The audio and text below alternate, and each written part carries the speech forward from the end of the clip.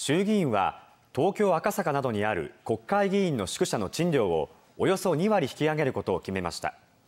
赤坂宿舎は月額でおよそ10万円になります。衆議院の議員運営委員会は国家公務員宿舎の賃料の引き上げに合わせて東京の赤坂や青山にある議員宿舎の賃料もおよそ2割引き上げることを決めました。これにより赤坂議員宿舎の賃料は今の8万4378円から10万2298円になります。